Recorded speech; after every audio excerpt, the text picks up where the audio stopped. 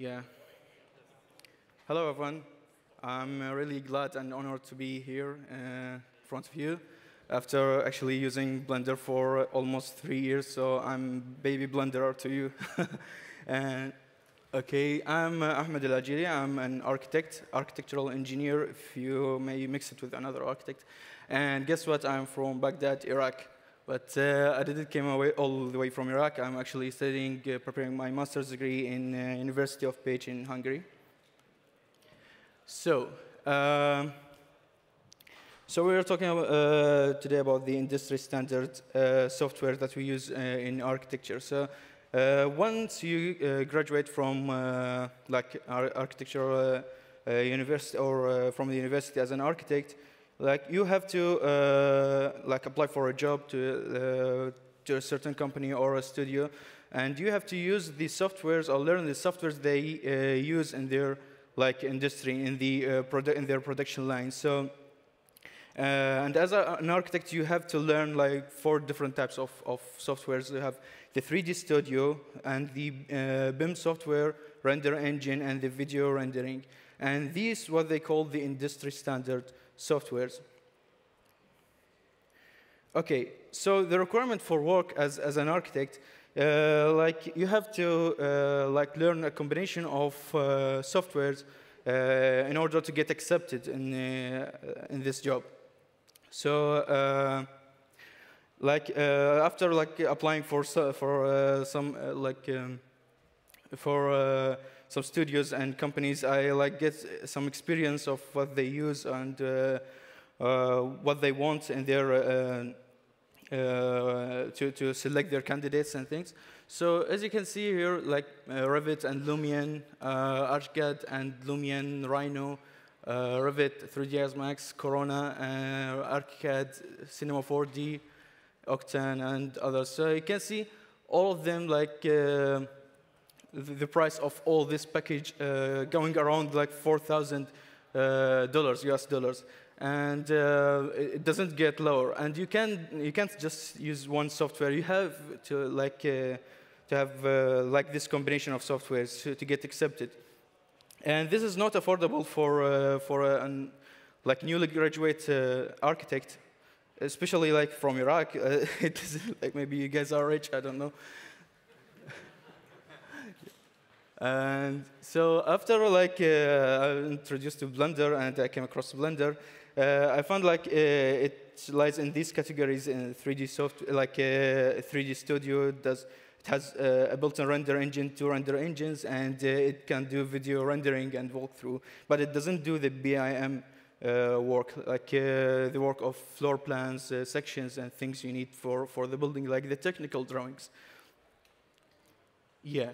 So I was amazed and uh, surprised uh, that Blender can do all the modeling, rendering, video walkthrough, animation, uh, all this, uh, procedural modeling, procedural texturing, and all for free, like uh, what I've been using. Like, so uh, this is using Blender in the architectural process. This is my process that I follow in the using of, of Blender in the architectural industry. So I do the site analysis, uh, the conceptual design, uh, then I do the technical drawings and uh, like uh, the sections, plans, and things using uh, Revit. Then I export it as an FBX, then do, complete the exterior design and interior design, then the environmental design, like designing the environment and the landscape. After that, the visualization, rendering, maybe animation, uh, the last thing is the post-production or the compositing. So uh, here you can see how I use, uh, it for site analysis. This is my, uh, the process. We go in detail. So uh, the first thing I use, like here, an add-on, a free add-on. It's called Blender GIS. It's so useful. It can give us the the neighboring buildings using data from Google. So here you can see I'm just following like simple steps, like uh, I'm changing this uh, plane. I don't like it, I always change it, I don't know why. Uh, then I'm using uh, geometry nodes, I'm turning the, um, the streets from, from uh, mesh to curve and back to, to mesh. Then I give it this thickness. And the last thing is rendering to see like the, the light, the interaction of the light with the urban fabric and the city. Yeah, this is, uh, I'm using here the same, the same add-on to, to get the topo topography, the topology, uh, or the terrain uh, of, of the land because it's so uh, important in case you, uh, the land is, is not uh, like is not flat or something. You have to get this information for this site analysis. Yeah, so here you can just use like a displacement map, put it in like a uh, using the displacement uh, modifier, then the uh, array modifier, putting some planes, then the solidify, and that's just simple steps, and now we have a terrain model. It's not like that, so I'll change it. Yeah. And we can see also using the sky, uh, sky texture, to, to see the, the interaction of, of light and uh, with, with the terrain, with the old things. Here, uh, the conceptual design. So uh, you can't you can't just come with the with a, like a building out from your mind just just like that. You have to like start experiment, start to uh, get inspirations and, and, things. So uh, this is so useful in Blender. So uh, I'm using here geometry nodes. It's so inspiring. So you can make a, lot of models. You can uh, like uh, experiment with a lot of things, a lot of possibilities to make uh, like a conceptual design. Then using the freestyle tool to get these lines that I'm using here. So just making some cutouts, some things, maybe the openings, just like an inspiration, like how, how the building uh, will be and how it will interact with the light, with the, with the uh, things. Then we, after the conceptual design, we like uh, start the actual design with the, um, with Blender, then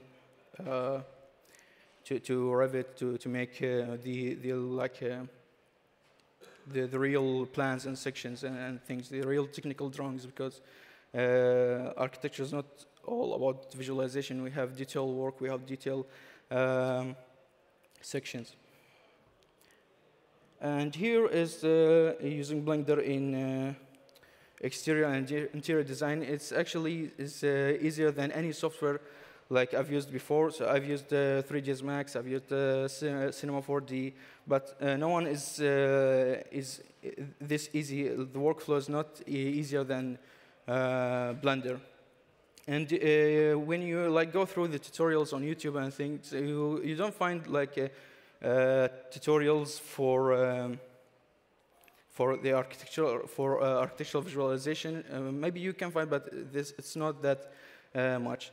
But the way I'm I'm, le I'm, learning Blender and I learned Blender, it's like by watching any tutorial, maybe a tutorial of a headphone or a donut or something. It will it will benefit you in the architectural design because it's the same workflows, it's the same modeling thing. So uh, instead of modeling like a headphone, you can model a building.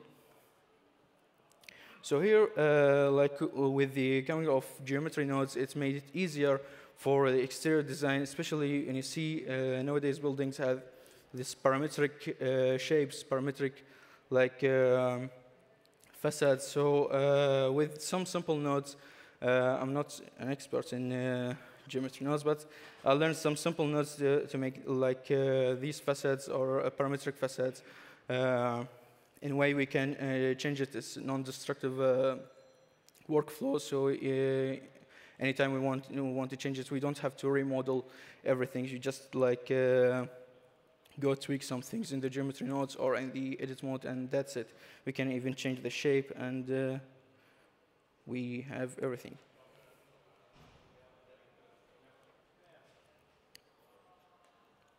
Okay, here uh, using the same uh, geometry nodes, uh, like we are experimenting with uh, some facade modeling. The, the modeling of a facade, sometimes you see just like a plain facade. Uh, it's so boring. They add some like dynamic shapes to it. Some uh, like like here you can see I'm scattering some um, geometries to make this uh, dynamic facade or uh, to make this parametric uh, facade.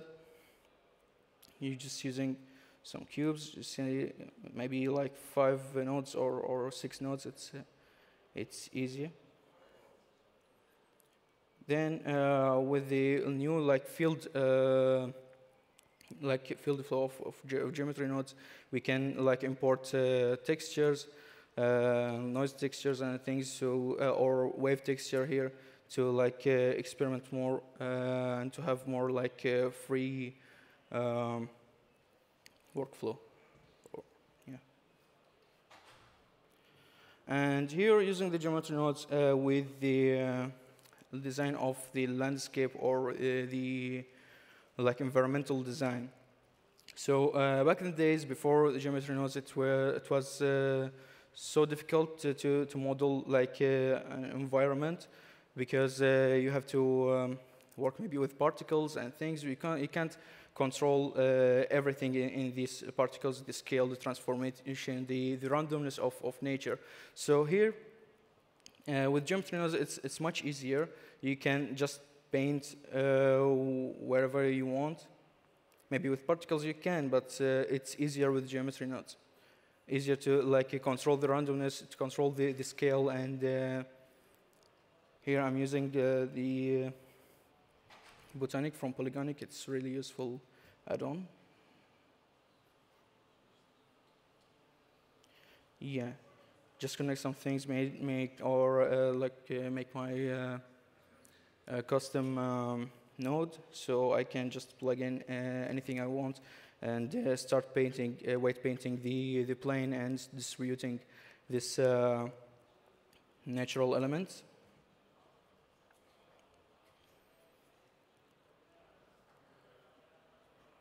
And the last thing is, is the uh, last thing in this uh, uh, workflow pipeline is the visualization, which uh, after you use that just uh, rendering, uh, putting the, the sunlight and, and things, and start export, exporting photos.